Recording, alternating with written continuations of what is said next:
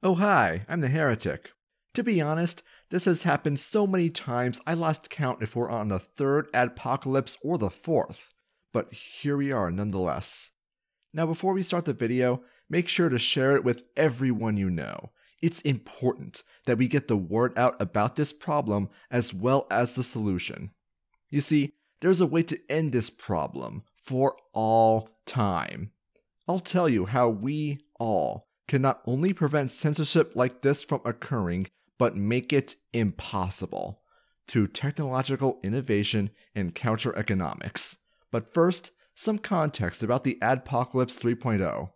What happened is that the totalitarian space filler on the internet and BuzzFeed wannabe, Vox, decided to put their aristocratic superiority complexes on full display by going after political YouTube commentator Steven Crowder. In all fairness, there wasn't anything I could add that wouldn't make the well water any more toxic to begin with. Anyways, so what happened is that as part of his show, Crowder went after Vox host Carlos Maza, roasting him for, among other facts, that he's a talentless hack and an authoritarian asshole being gay. chip, chip, chip, chip, but you can eat just one, like dicks. This is what Mr. Gay Vox wants to do. Mr. Lispy Queer from Vox. What, what, what were you holding, Gay Latino from Vox? Even his hand movement in fast motion is gay. Now we're here with the short-haired angry lesbian on Skype. And cable news, cable news bitching. Two gay guys sitting there eating a banana. We get the symbolism there. Deciding he's had enough, Mr. Lisp Queer took this directly to YouTube staff, accusing Crowder of harassment for calling him things that he's called himself several times. YouTube's team promised to do an investigation, and what they determined was that although Crowder's videos were hurtful, the videos don't violate YouTube policy. Now, that should be the end of it, right? YouTube says the remarks are hurtful, but don't constitute a violation of policy.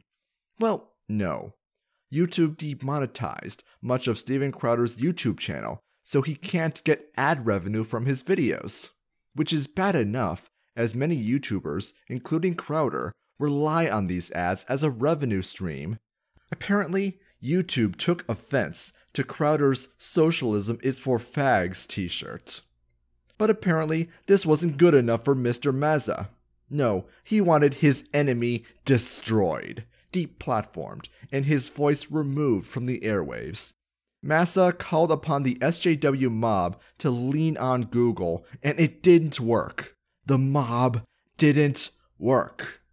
Now, YouTube has, since the Wall Street Journal originally went after PewDiePie by leaning on his advertisers directly, bent over backwards to screw over content creators, all to appease and assure advertisers that their content definitely will not appear on a Holocaust denial video. So it's actually a genuine surprise when they show something resembling a spine. Somewhat. Meanwhile, being silent about how pedophiles use their platform to communicate with each other while monetizing their videos.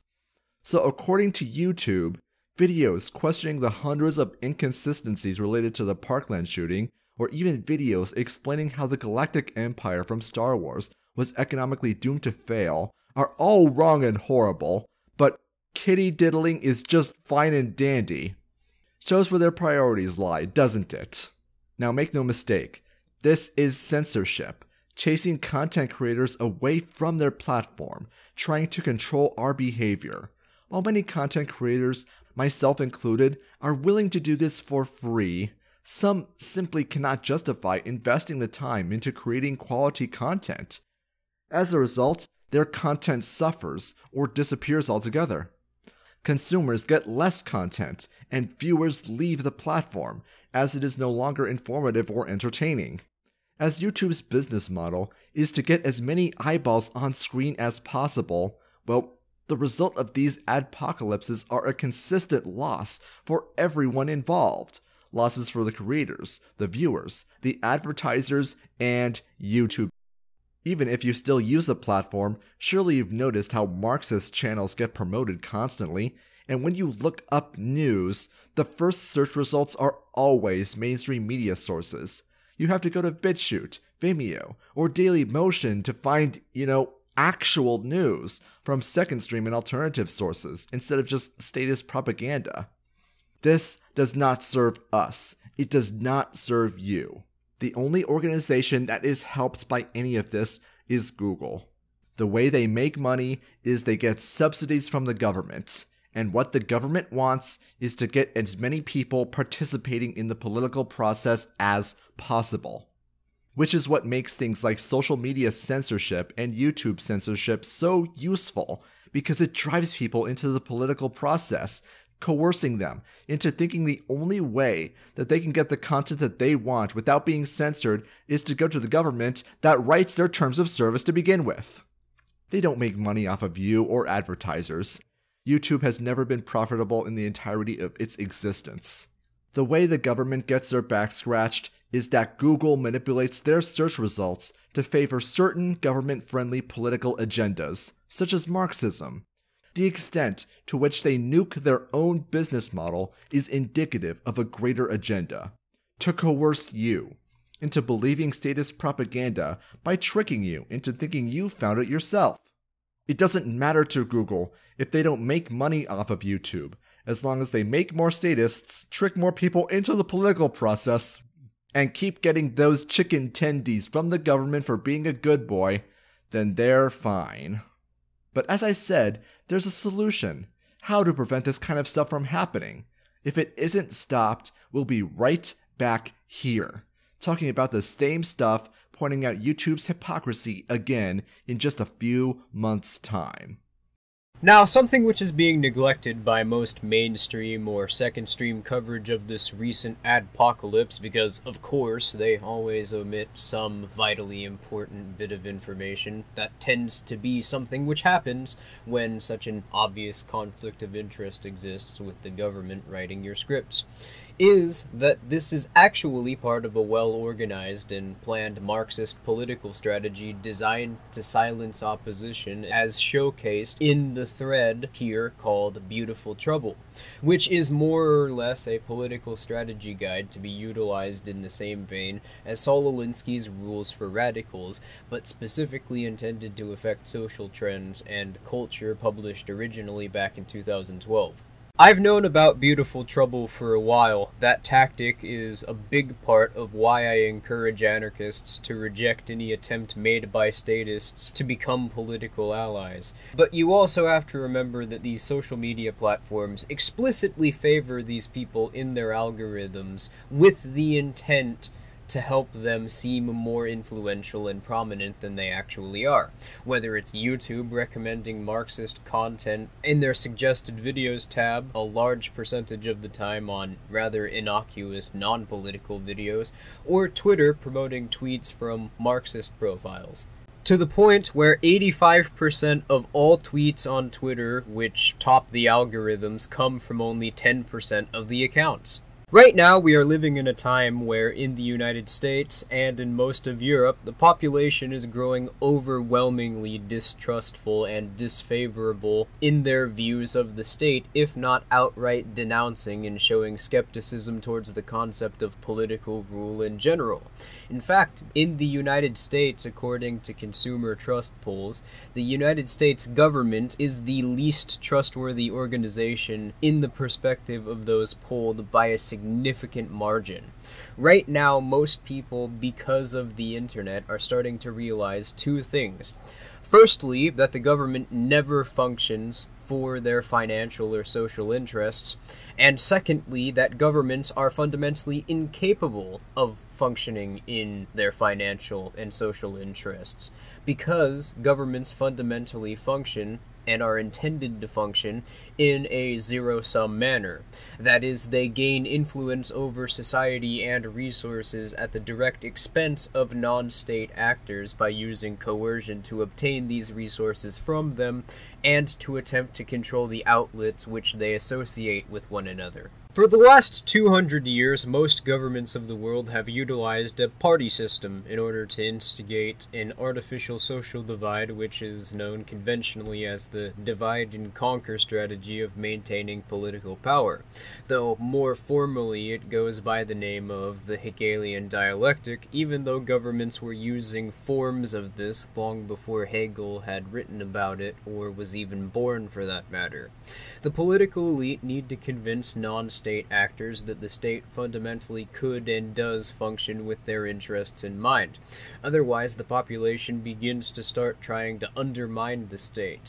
Now, this is going to happen regardless of what the state does because it requires exponential growth in order for it to sustain itself, which it can only do by stealing from producers, and since growth for the state necessarily requires resources to be taken away from producers and consumers and thereby reducing the wealth generated which can be produced, well, I'm sure you see the problem here.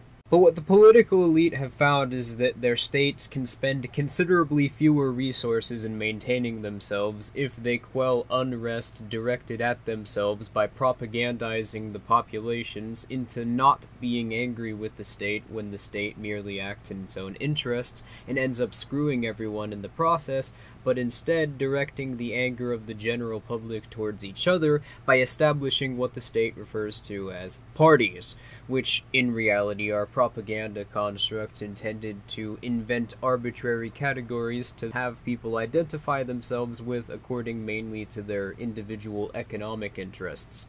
Then, whenever the state does something which challenges the interests of a vast swath of the population, or when a politician specifically has the spotlight put on them because they did something which got exposed that enraged people to the point where it would be worse for the state and its controlled media not to address the problem, the state simply blames the politics of one or more of the other political parties, which diverts attention away from the state and towards the people who have certain certain economic interests that oppose theirs, resulting in most completely forgetting or refusing to acknowledge how this was caused by the existence of the government in the first place. For the longest time, this was a relatively effective political strategy.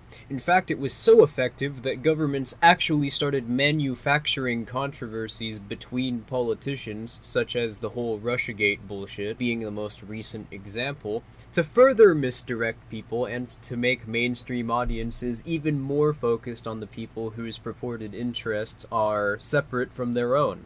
Something which wouldn't actually be that big of a deal without a state, and instead people would simply just make mutually beneficial connections to ensure that they had their interests met, producing wealth and at no one else's expense, turned into a conflict where if one group's interests are met, then the other groups necessarily must not be, though in reality neither of their interests are ever met. But now that people have slowly begun to realize this, the state is attempting to change the focus of this exact same propaganda strategy. Instead of appealing and dividing people into categories based upon individual economic interests, now, the political elite are platforming identitarian ideologies in the forms of Marxism or general belief systems which fall under the umbrella term of what's conventionally known as alt right.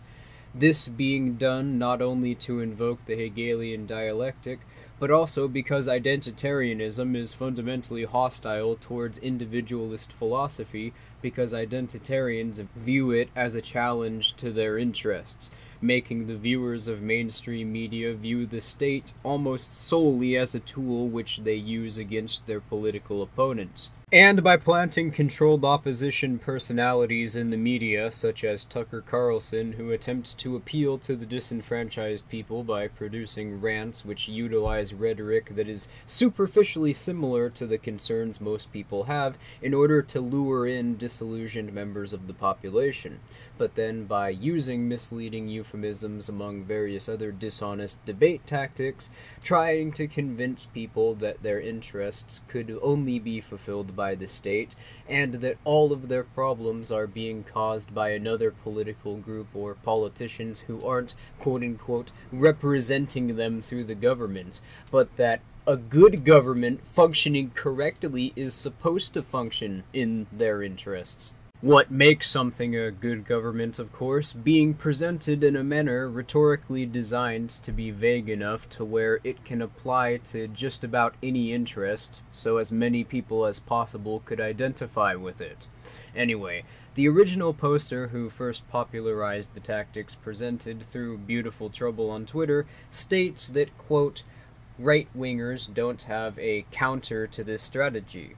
And not to get into my issues with the conceptualization of the left right dichotomy, but this illustrates one of the main benefits the state receives by utilizing Marxist tactics like this. The only way for the tactics of beautiful troubles to be effective are if, one, their opposition isn't unified politically behind one single common view of who their enemy, so to speak, is.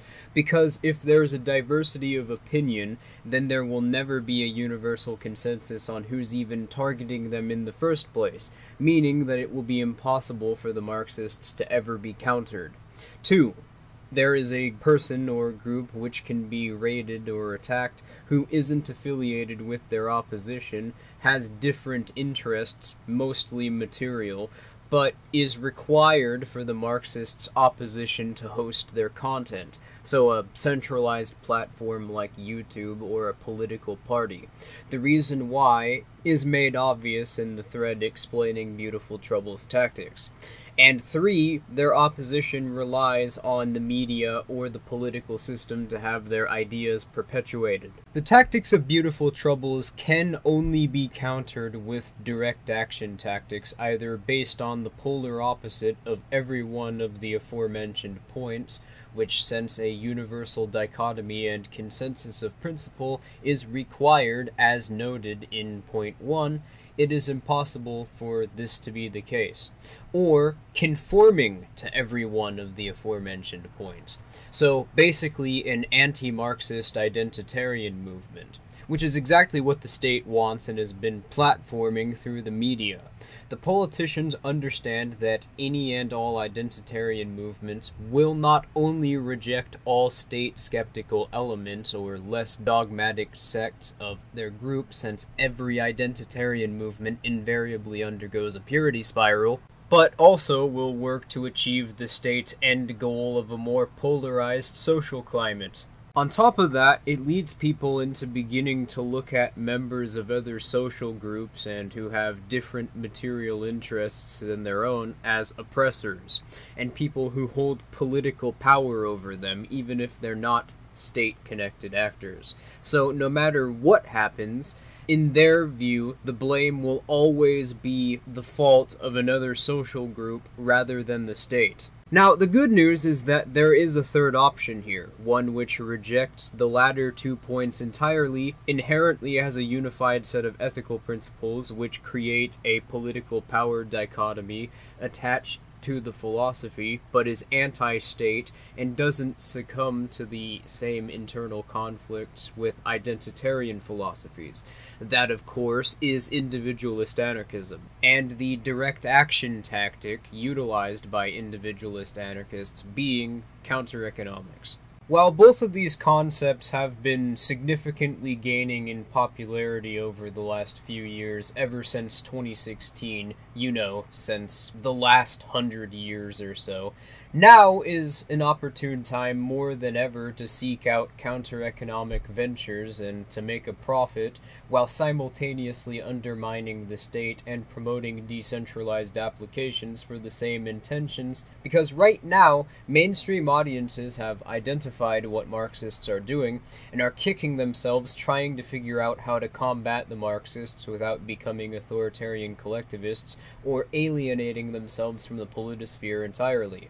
Not only can counter economists and individualist anarchists effectively combat Marxist tactics, but utilizing this strategy is the only way to do so in a manner which undermines the state, social media, and the mainstream media by further decentralizing our means of communication. So, while most are probably viewing this realization and turn of events with existential dread over the prospect of identitarianism being positioned by the state to become the new status quo in mainstream politics, I'd argue that this is actually just yet another example of the state overlooking really key and important implications of their gay ops and unintentionally sabotaging themselves in the process. Because whether or not a large chunk of people who are active in mainstream politics actually end up becoming ideological identitarians is irrelevant, since this propaganda strategy fundamentally relies on centralized outlets of association,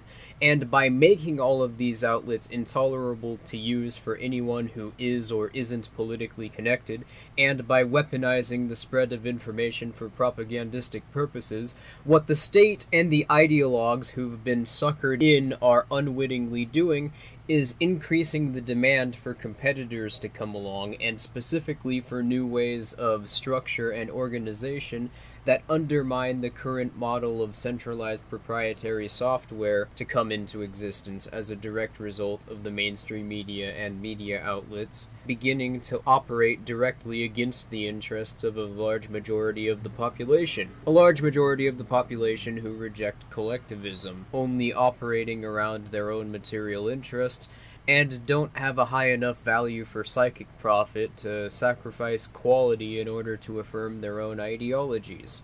What if you could look up all of those video hosting sites and bypass their algorithms to find the video you're actually looking for, all hosted on your own computer? Imagine not giving your personal information to big corporations or corrupt governments. The only reason totalitarian assholes are able to get videos pulled is because platforms like YouTube are centralized repositories. We can make censorship irrelevant, and we can do it without needing to ask permission from a corporation or beg the priesthood of statism to please, please protect us from the big, scary corporations. We can do this, and it's being worked on as we speak, as a component of our FreedomNet project. We'll talk about it more as the project develops. But here's the basic idea. The way we prevent this kind of internet censorship is through decentralized peer to peer exchanges, not only through the internet, but in our day to day life.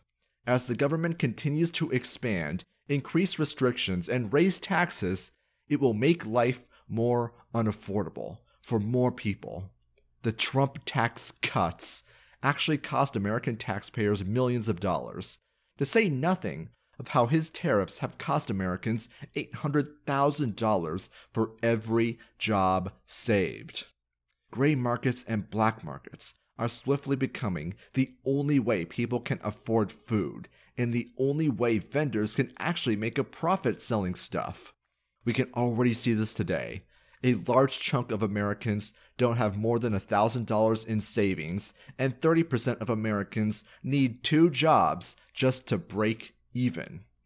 And these decentralized peer to peer exchanges will become the only way for content creators to share their games, their music, their videos, their commentary. This is not only possible with the technology that we have today, but we're already doing it.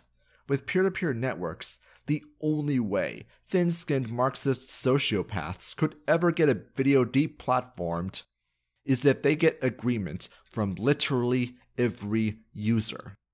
We can innovate censorship out of existence. And the idea that we need the government to solve a problem that was created by the government is simply feeding into the same problem reaction solution loop that has gotten us into this mess in the first place we have the opportunity to defeat socialism and Marxism for all time. All that we need to do is recognize the problem for what it really is the peril of centralization.